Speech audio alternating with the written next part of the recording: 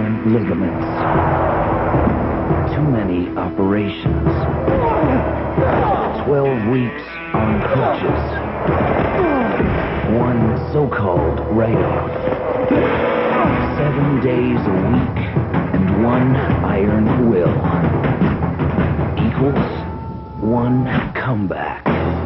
For all you do, this one's for you.